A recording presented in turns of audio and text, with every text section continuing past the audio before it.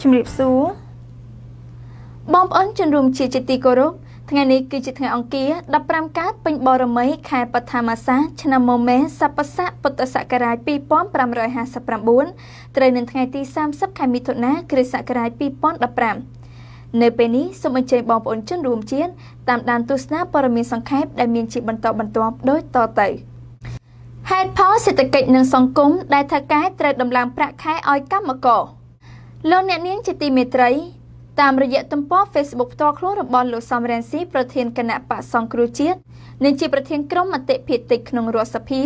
បានដកស្រង់នៅអត្ថបទមួយក្នុងកាសែតភ្នំពេញប៉ុស្តិ៍ដែលបានចុះផ្សាយពីលិខិតរបស់លោកមួយច្បាប់ ដែលបញ្ជាក់អំពីហេតុផលសេដ្ឋកិច្ចនិងសង្គមដែលថៅកែត្រូវដំឡើងប្រាក់ខែឲ្យកម្មករ នៅក្នុងអត្ថបទដែលបានចុះផ្សាយដោយកាសែតភ្នំពេញប៉ុស្តិ៍នេះលោកសំរាំងស៊ីមានបំណងឆ្លើយតបទៅនឹងហេតុផលមួយចំនួន ដែលថៅកែនៅប្រទេសកម្ពុជាសប្តាហ៍ថ្ងៃមិនមានបំណងដំឡើងប្រាក់ខែឲ្យកម្មករហេតុនេះលោកសំរាំងស៊ីបានលើកជាហេតុផលមួយចំនួននៅក្នុងអត្ថបទដែលបានចុះផ្សាយដោយកាសែតភ្នំពេញប៉ុស្តិ៍នេះថាហេតុផលទី1 ប្រាក់ខែរបស់កម្មករខ្មែរមិនអាចបំពេញនៅតម្រូវការជីវភាពរស់នៅសប្តាហ៍ថ្ងៃឲ្យដូចទៅនឹងជីវភាពរបស់កម្មករនៅប្រទេសជិតខាងនោះទេដែលហេតុថាទំនិញនៅប្រទេសកម្ពុជា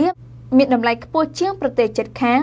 តួយ៉ាងដូចជាប្រទេសវៀតណាមប្រាក់ខែអបបរមារបស់កម្មករវៀតណាមមានកម្រិតស្មើនឹងប្រាក់ខែអបបរមារបស់កម្មករខ្មែរក៏ពិតមែនប៉ុន្តែទំនិញមានតម្លៃថោកជាងប្រទេសខ្មែរ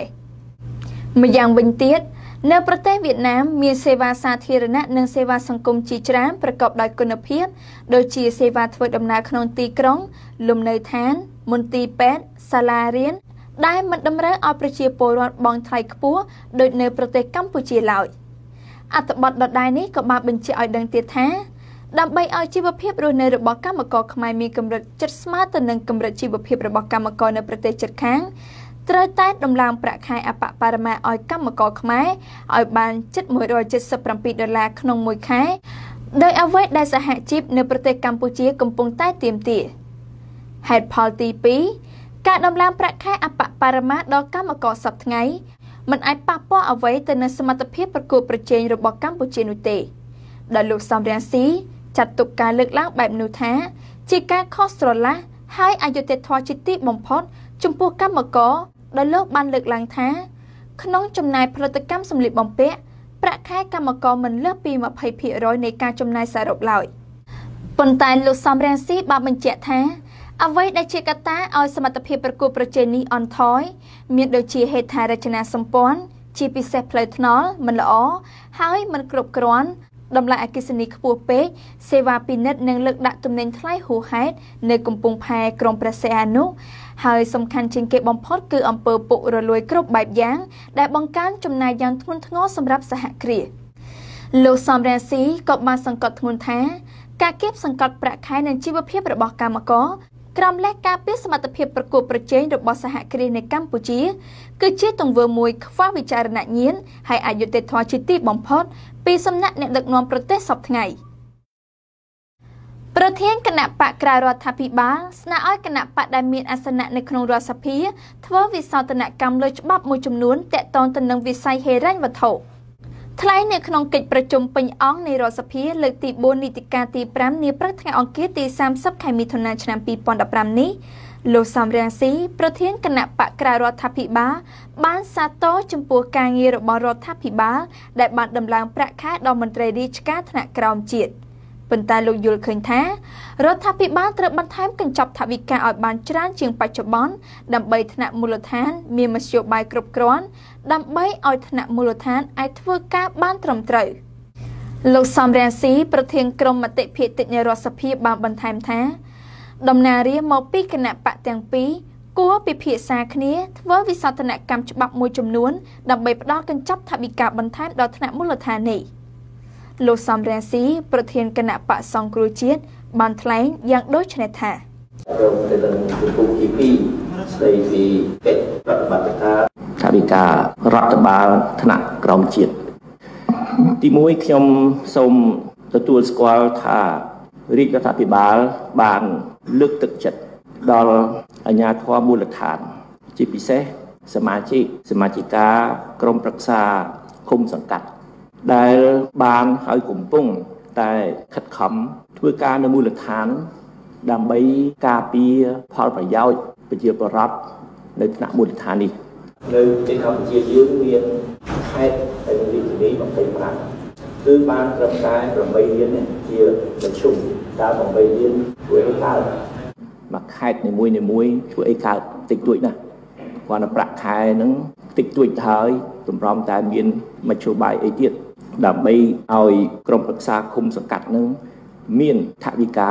ដើម្បីចាត់ចែងឲ្យសម្រេចការងារមួយចំនួនឥឡូវនេះយើងត្រូវរកមធ្យោបាយថែមទៀតឲ្យក្រុមប្រឹក្សាឃុំសង្កាត់ថ្នាក់មូលដ្ឋានថ្នាក់ស្រុកថ្នាក់ខេត្តនឹងធ្វើម៉េចឲ្យមានថវិកាលើសពីនឹង អញ្ចឹងអ្វីដែលសំខាន់គឺមិនមែនគ្រាន់តែសិទ្ធិសម្រេចទេសិទ្ធិសម្រេចតែបើអត់មានលុយអត់មានថវិកាក៏មិនអាចធ្វើអីបានដែរមានតែទ្រឹស្ដីចង់ឲ្យសេចក្តីសម្រេចនោះមានភាពជាក់ស្ដែងត្រូវតែផ្ដល់ដល់ថវិកាឲ្យគ្រប់គ្រាន់ឲ្យអាជ្ញាធរមូលដ្ឋានទាំងនោះអាចធ្វើការបានមានប្រសិទ្ធភាពអញ្ចឹងយើងត្រូវតែកែច្បាប់មួយចំនួន ដូចជាច្បាប់ស្តីពីប្រព័ន្ធហិរញ្ញវត្ថុសាធារណៈច្បាប់ ថវិកាជាតិច្បាប់ស្តីពីវិមជ្ឈការធ្វើម៉េចឲ្យក្រមប្រឹក្សាគុំសង្កាត់ហើយក្រមប្រឹក្សាស្រុកក្រមប្រឹក្សាខេត្តក្រមប្រឹក្សារាជធានីនឹងមានសិទ្ធិប្រមូលពន្ធខ្លួនឯងឬទទួលចំណែកមួយនៃពន្ធដែលរដ្ឋប្រមូលត្រូវតែបែងចែកនៅថ្នាក់មូលដ្ឋាន ហើយបែងចែកតាមកម្រិតមួយសមរម្យពន្ធលើដីធ្លីពន្ធលើព្រៃឈើពន្ធលើតំបន់និងសកម្មភាពនេសាទពន្ធលើរ៉ែ ពន្ធលើសកម្មភាពពាណិជ្ជកម្មផ្សេងផ្សេងពាណិជ្ជកម្មឧស្សាហកម្មដូចជារោងចក្ររមណីយដ្ឋានទេសចរសកម្មភាពទាំងអស់ហ្នឹងគឺផ្ដល់ប្រាក់ចំណូលហើយប្រាក់ចំណូលរដ្ឋមិនត្រូវប្រមូលយកទៅមជ្ឈិមទាំងអស់ដើម្បីចាត់ចែងពីថ្នាក់រដ្ឋនឹងទេត្រូវទុកមួយចំណែកនៅថ្នាក់មូលដ្ឋានដើម្បីឲ្យថ្នាក់ដឹកនាំថ្នាក់មូលដ្ឋាននឹងមានមធ្យោបាយចាត់ចែងការងារនឹងខ្លួនយើងសូមបញ្ជាក់ថា ការអនុម័តសេចក្តីព្រាងច្បាប់ស្តីពីការទូទាត់ថវិកាទូទៅរបស់រដ្ឋសម្រាប់ការគ្រប់គ្រងឆ្នាំ2013មានសម្លេងចំនួន67សម្លេង លើ103ដោយដំណើររាជគណៈបកសង្គ្រោះជាតិមិនបានលើកដៃអនុម័តច្បាប់នេះទេដោយគណៈបកនេះយល់ឃើញថាគ្មានដំណាភាពក្នុងការគ្រប់គ្រងថវិកាពីសំណាក់ក្រសួងសេដ្ឋកិច្ចនិងហិរញ្ញវត្ថុ។ ដំណើររាជគណៈបកសង្គ្រោះជាតិនៅតែបន្តសកម្មភាពទៅពិនិត្យព្រំដែនទោះបីមានការរារាំងប្រាអំពើហិង្សាពីសំណាក់ភៀកគីយួន ងាកមកឯព័ត៌មានព្រំដែនពីគេហទំព័រមនសិការខ្មែរវិញបានចុះផ្សាយឲ្យដឹងតាមរយៈលោកសំរងស៊ីប្រធានគណៈបកសង្គ្រោះជាតិនិងជាប្រធានក្រុមដំណើររាជសម្លេងភៀកតិចក្នុងរដ្ឋសភាបានបញ្ចេញប្រតិកម្មយ៉ាងខ្លាំងចំពោះករណីទីហ៊ាននិងប្រជាជនយួនប្រាអំពើហិង្សាវាយប្រហារមកលើតំណាងរាស្ត្រព្រះសង្ឃនិងប្រជាពលរដ្ឋខ្មែរនៅភូមិធ្លកឃុំថ្នោត ស្រុកកំពង់រោខេត្តស្វាយរៀងកាលពីរុស្ស៊ីថ្ងៃទី28ខែមិថុនាឆ្នាំ2015លោកសំរងស៊ីមានប្រសាសន៍ថាលោកនឹងលើកយកករណីនេះប្តឹងទៅលើឆាកអន្តរជាតិដើម្បីឲ្យជួយរកយុត្តិធម៌គេហទំព័រមនសិការខ្មែរដដែលនេះបានលើកឡើងឲ្យដឹងបន្ថែមទៀតតាមរយៈលោកសំរងស៊ីកាលពីព្រឹកថ្ងៃទី29ខែមិថុនាឆ្នាំ2015នេះបានមានប្រសាសន៍ថា យើងគិតគូរប្តឹងទៅថ្នាក់ជាតិនិងថ្នាក់អន្តរជាតិសូមធ្វើយ៉ាងណាកុំឲ្យមានអំពើហិង្សាមកលើប្រជាពលរដ្ឋខ្មែរដែលអត់មានកំហុសអីទាល់តែសោះគ្រាន់តែទៅការពារបរណភាពទឹកដីកម្ពុជា ទៅលើកទឹកចិត្តជនរងគ្រោះនៅតាមព្រំដែនឃើញថាប្រទេសជិតខាង គេមានឆន្ទៈវិទីយ៉ាងខ្លាំងហើយយើងចង់ឲ្យអាជ្ញាធរនៃប្រទេសកម្ពុជាយើងឲ្យប្រជាពលរដ្ឋទាំងអស់ រួមកម្លាំងគ្នាដើម្បីទប់ទល់កុំឲ្យបរទេសមើងងាយខ្មែរកុំឲ្យបរទេសធ្វើបាបខ្មែរហើយមកលេបត្របាក់ដីធ្លីរបស់ប្រជាពលរដ្ឋខ្មែរនៅតាមព្រំដែនលោកសំរងស៊ីបានថ្កោលទោសយ៉ាងខ្លាំងចំពោះអំពើហិង្សា ដែលទីហ៊ាននិងប្រជាពលរដ្ឋយួនប្រព្រឹត្តមកលើដំណើររាព្រះសង្ឃនិងប្រជាពលរដ្ឋខ្មែរដែលគ្រាន់តែទៅពិនិត្យមើលកន្លែងបោះបង្គោលព្រំដែនគួរឲ្យសង្ស័យតែប៉ុណ្ណោះ។ តកតនទៅនឹងបញ្ហាខាងលើនេះដែរលោកសំរាស៊ីបានបញ្ជាក់ថាដំណើររាជគណៈបកសង្គ្រោះជាតិនៅតែបន្តសកម្មភាពចោះទៅពិនិត្យមើលបង្គោលព្រំដែនតទៅទៀតទោះបីជាមានការរៀបរៀងពីសំណាក់ភាគីយួនក៏ដោយព្រោះយើងធ្វើឡើងដើម្បីជួយដល់ប្រជាពលរដ្ឋខ្មែររងគ្រោះដែលអាជ្ញាធរយួនរំលោភចូលដីស្រែរបស់ពួកគាត់ជាប់ព្រំដែនជាមួយយួនជុំវិញករណីទីហ៊ាននិងប្រជាជនយួនប្រាអំពើហិង្សាលើដំណារីព្រះសង្ឃនិងប្រជាពលរដ្ឋខ្មែរនោះដែរ តាមរូបភាពដែលបង្ហោះលើបណ្ដាញ Facebook និងសារព័ត៌មាននានាបានបង្ហាញនូវភាពខុសខើរបស់ទីហ៊ាននិងប្រជាជនយួនដែលធ្វើសកម្មភាពឈ្លានពានទឹកដីខ្មែរយ៉ាងកក្លឿនអ្នកនាំពាក្យក្រសួងមហាផ្ទៃលោកខៀវសុភ័ក្រក៏បានថ្កោលទោសចំពោះការប្រាអំពើហិង្សារបស់ទីហ៊ាន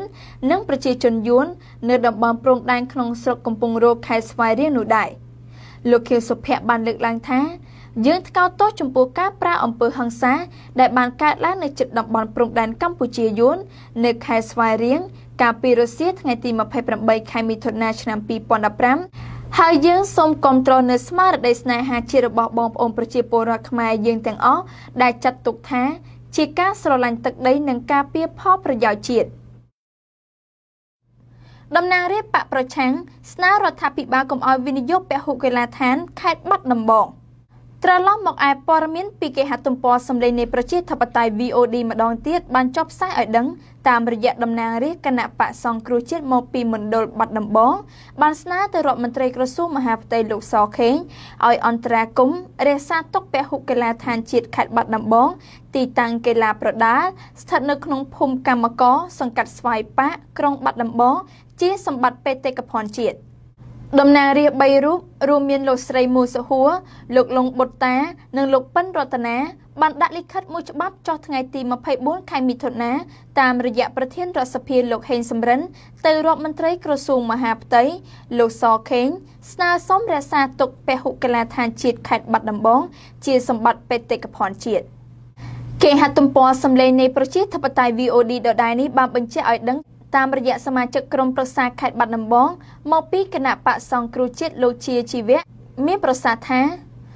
ក្រុមហ៊ុន Royal Group មានគម្រោងយកទីតាំងនោះទៅអភិវឌ្ឍជាសន្តាគារខ្នាតអន្តរជាតិ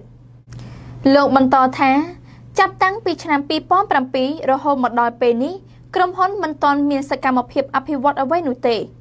លោកស្នើឲ្យរដ្ឋាភិបាលរក្សាពហុកីឡដ្ឋាន នោះជាសម្បត្តិបេតិកភណ្ឌទុកសម្រាប់ក្មេងចំនួនក្រោយដោយចាត់ទុកថានេះជាស្នាដៃរបស់ព្រះបរមរតនកោដ្ឋលោកបញ្ជាក់ថា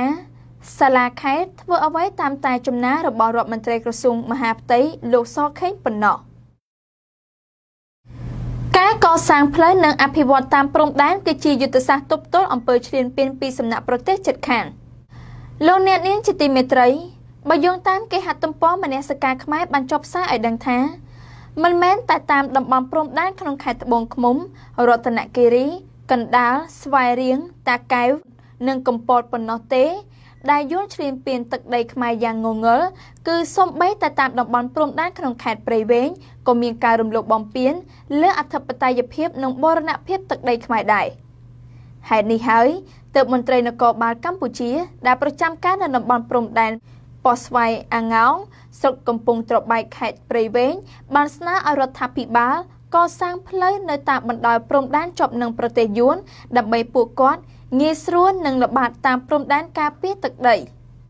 បញ្ហានេះគេរងចាំមើលថា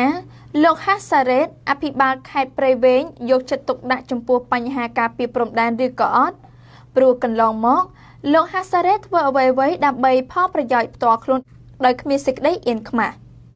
គេហទំព័រមនសិការខ្មែរដដែលនេះបានបង្ហាញឲ្យដឹងបន្ថែមទៀតថាតំបន់ស្វាយអាងោងស្រុកកំពង់ត្របែកខេត្តព្រៃវែងជាប់ព្រំប្រទល់ជាមួយនឹងយួនប្រមាណជិត10គីឡូម៉ែត្រហើយនៅពេលចុះល្បាតម្ដងម្ដងកម្លាំងនគរបាលការពារព្រំដែនជួបការលំបាកយ៉ាងខ្លាំងដូច្នេះរដ្ឋាភិបាលលោកហ៊ុនសែន គួរពិនិត្យមើលបញ្ហានេះផងដែរហើយត្រូវយកចិត្តទុកដាក់កសាងផ្លូវនិងអភិវឌ្ឍតាមតំបន់ព្រំដែនដើម្បីជាយុទ្ធសាស្ត្រទប់ទល់អំពើឈ្លានពានពីសំណាក់ប្រទេសយួនជាងនេះទៅទៀតរដ្ឋាភិបាលលោកហ៊ុនសែនគួរតែចំណាយមួយផ្នែកនៃថវិកាជាតិដើម្បីអភិវឌ្ឍតាមព្រំដែនសម្រួលឲ្យប្រជាពលរដ្ឋទៅរស់នៅទីនោះជារបងការពារបរណភាពទឹកដីមន្ត្រីអង្គការសង្គមស៊ីវិលក៏ដូចជាសកម្មជនព្រំដែនបានកត់សម្គាល់ថា ប្រទេសជិតខាងជាពិសេសប្រទេសយួននិងប្រទេសសៀមគេយកចិត្តទុកដាក់អភិវឌ្ឍយ៉ាងខ្លាំងក្លា សាងសង់ហេដ្ឋារចនាសម្ព័ន្ធសពបែបយ៉ាងចំណែករដ្ឋាភិបាលលោកហ៊ុនសែនវិញអភិវឌ្ឍតែក្នុងក្រុងបណ្ដេញប្រជាពលរដ្ឋចេញពីក្រុងយកដីឲ្យឈ្មួញនិងក្រុមហ៊ុនខលខូចវិនិយោគធ្វើឲ្យប្រជាពលរដ្ឋរងទុក្ខវេទនាគ្មានទីបញ្ចប់រដ្ឋាភិបាលលោកហ៊ុនសែនមិនយកចិត្តទុកដាក់កសាងហេដ្ឋារចនាសម្ព័ន្ធតាមតំបន់ព្រំដែននោះទេហេតុនេះហើយ ទើបសមត្ថកិច្ចនគរបាលការពារព្រំដែននៅប៉ុស្វាយអាងោងស្រុកកំពង់ត្របែកខេត្តព្រៃវែងអំពាវនាវឲ្យរដ្ឋាភិបាលធ្វើផ្លូវនិងអភិវឌ្ឍតាមតំបន់ព្រំដែនដើម្បីជារបងការពារអធិបតេយ្យភាពបូរណភាពទឹកដីខ្មែរអង្គការបរិស្ថានអន្តរជាតិមួយស្នើឲ្យប្រទេសឡាវផ្អាកការសាងសង់ទំនប់វារីអគ្គិសនីដនសាហុង។ ក្រឡេកមកឯព័ត៌មានបរិស្ថានពីគេហទំព័រសម្លេងនៃប្រជាធិបតេយ្យ VOA បានលើកឡើងឲ្យដឹងថា ក្រុមអ្នកបរិស្ថាន International Rivers បានអំពាវនាវឲ្យប្រទេសឡាវផ្អាកការសាងសង់ទំនប់វារីអគ្គិសនីដ៏ធំនៅលើដងទន្លេមេគង្គនិងឲ្យប្រទេសនេះបន្តការចរចាជាមួយនឹងប្រទេសជិតខាង នៅតាមដងទន្លេមេគង្គផ្នែកខាងក្រោមដែលមានការព្រួយបារម្ភពីផលអវិជ្ជមានដោយសារការសាងសង់ទំនប់វារីអគ្គិសនីដ៏ចម្រូងចម្រាសនេះទំនប់ដងសាហុង ដែលនឹងកាត់ទន្លេមេគង្គនៅផ្នែកខាងលើ នៅចម្ងាយប្រមាណជា2គីឡូម៉ែត្រពីព្រំប្រទល់ប្រទេសកម្ពុជានឹងផ្ដល់ធម្មពល260មេហ្គាវ៉ាត់គម្រោងដែលសាងសង់ដោយក្រុមហ៊ុន Mega First ដែលជាក្រុមហ៊ុនមួយរបស់ម៉ាឡេស៊ីបានធ្វើឲ្យមានការជំទាស់និងការព្រួយបារម្ភពីសំណាក់មន្ត្រីរដ្ឋាភិបាលក្រុមអង្គការសង្គមស៊ីវិលនិងសហគមន៍នេសាទនៅក្នុងប្រទេសដែលជាសមាជិករបស់គណៈកម្មការទន្លេមេគង្គ ក្រមការពារបរិស្ថានបាននិយាយថាការប៉ះពាល់ពីការសាងសង់ទំនប់នេះមិនត្រូវបានគេសិក្សាវិតម្លៃឲ្យបានច្បាស់លាស់នោះទេក្រមនេះបានបន្ថែមថាការសាងសង់ទំនប់នេះអាចជះឥទ្ធិពលអវិជ្ជមានដល់ជីវិតអ្នកនេសាទរាប់លាននាក់ដែលរស់នៅអាស្រ័យលើផលនេសាទនៅតាមដងទន្លេមេគង្គនេះទំនប់នេះក៏នឹងអាចធ្វើឲ្យប៉ះពាល់ដល់គុណភាពទឹក និងផ្លាស់ទីកន្លែងរបស់ត្រីជាច្រើនប្រភេទ។ មន្ត្រីនៃប្រទេសឡាវបាននិយាយថាខ្លួននឹងបន្តការសាងសង់ទំនប់នេះបើទោះជាមានការជំទាស់ពីប្រទេសជាសមាជិកគណៈកម្មការទន្លេមេគង្គក៏ដោយគេហទំព័រសម្លេងនៃប្រជាធិបតេយ្យ VOA ដដែលនេះបានបញ្ជាក់ឲ្យដឹងតាមរយៈលោកស្រី Ami Drandom នាយិកាកម្មវិធីអាស៊ីអាគ្នេយ៍របស់អង្គការទន្លេអន្តរជាតិបានមានប្រសាសន៍នៅក្នុងសេចក្តីថ្លែងការណ៍មួយ កាលពីប៉ុន្មានថ្ងៃកន្លងទៅថ្មីៗនេះថា ទំនប់ដងសហុងនេះបានបង្កឲ្យមានការគំរាមកំហែងយ៉ាងខ្លាំងដល់ការចិញ្ចឹមជីវិត និងសន្តិសុខស្បៀងនៅទូទាំងតំបន់នេះហើយនឹងអាចធ្វើឲ្យប៉ះពាល់ឱកាសនៃការអភិវឌ្ឍនៅទន្លេមេគង្គនិងតំបន់នេះទៅអនាគតលោកស្រី Ami Drandom បានហៅដំណើរការនៃការធ្វើការសម្រេចចិត្តនេះថា ជាសារៈសំខាន់របស់តំបន់និងអន្តរជាតិលោកអ្នកនាងជាទីមេត្រី ព័ត៌មានជាតិដែលជម្រាបជូនដោយនាងខ្ញុំរស់ម៉ារីយ៉ានៅពេលនេះសូមបញ្ចប់ត្រឹមតែប៉ុណ្ណេះជាបន្តទៅទៀតសូមតាមដានព័ត៌មានអន្តរជាតិអតីតនាយករដ្ឋមន្ត្រីថៃយីងឡាក់អំពាវនាវឲ្យជនរួមជាតិថៃអត់ឱនចំពោះលោកស្រីលោកអ្នកនាងជាទីមេត្រីងាកមកឯព័ត៌មានអន្តរជាតិពីគេហទំព័រសម្លេងនៃប្រជាធិបតេយ្យ VOD បានចុះផ្សាយឲ្យដឹងថា អតីតនាយករដ្ឋមន្ត្រីថៃយីងឡាក់ស៊ីណាវ៉ាត្រាអំពាវនាវដល់ជនរួមជាតិថៃមេត្តាអត់ឱនចំពោះលោកស្រី ដែលបានដឹកនាំរដ្ឋាភិបាលអស់រយៈពេល3ឆ្នាំខណៈដែលលោកស្រីធ្វើពិធីខួបកំណើតអាយុ48ឆ្នាំលោកស្រីយីងឡាក់ត្រូវបានដកហូតពីតំណែងដោយតុលាការធម្មនុញ្ញកាលពីដើមឆ្នាំ2014ហើយក្រោយបន្តិចពួកយោធាបានធ្វើរដ្ឋប្រហារដណ្ដើមអំណាចពីគណៈបករបស់លោកស្រីនៅថ្ងៃទី22ខែឧសភា គេហទំព័រសម្លេងនៃប្រជាធិបតេយ្យ VOD ដដែលនេះបានបន្ថែមឲ្យដឹងទៀតថាលោកស្រីត្រូវបានដាក់ឲ្យប្រឈមនឹងក្រមព្រហ្មទណ្ឌករណីរឿងអាស្រូវពុករលួយនៅក្នុងគម្រោងទិញស្រូវនៅក្នុងពិធីខួបកំណើតកាលពីថ្ងៃទី26ខែមិថុនាលោកស្រីយីងឡាក់បានទទូចថាលោកស្រីចង់ឃើញបរិយាកាសនៅក្នុងប្រទេសមានសុខសន្តិភាពហើយប្រជាជនថៃមានស្នាមញញឹមដូចគ្នានិងមានការអត់ឱនគ្នាយោគយល់គ្នា។ នៅក្នុងពិធីនេះលោកស្រីយីងឡាក់បានប្រឡែងចាប់ចំនួន3000ក្បាលដែលជានិមិត្តរូបនៃសេរីភាពរបស់មនុស្សលោកស្រីយីងឡាក់មិនមានសិទ្ធិបោះឆ្នោតសម្រាប់ការបោះឆ្នោតសភាឆ្នាំ2016ព្រោះលោកស្រីត្រូវបានចោទពីបទរំលោភអំណាចរដ្ឋកាលពីលោកស្រីជានាយករដ្ឋមន្ត្រីឆ្នាំ2011ដល់ឆ្នាំ2014សំណុំរឿងប្តឹងលោកស្រីជាប់រឿងអាស្រូវពុករលួយក្នុងគម្រោងទិញស្រូវកំពុងស្ថិតនៅក្នុងតុលាការកំពូលសំណុំរឿងនេះ នឹងនាំឲ្យលោកស្រីមានទោស10ឆ្នាំប្រសិនបើរកកំហុសឃើញថាដោយការចោទរបស់គណៈកម្មការប្រឆាំងអំពើពុករលួយលោកអ្នកនាងជាទីមេត្រីព័ត៌មានសង្ខេបរបស់ក្រុមការងារនាងខ្ញុំនៅពេលនេះបានមកដល់ទីបញ្ចប់ហើយនាងខ្ញុំយាយច័ន្ទធីនីសូមថ្លែងអំណរគុណយ៉ាងជ្រាលជ្រៅចំពោះលោកអ្នកនាងដែលបានតាមដានទស្សនាកម្មវិធីនេះតាំងពីដើមរហូតដល់ទីបញ្ចប់សូមអរគុណសូមគោរពលា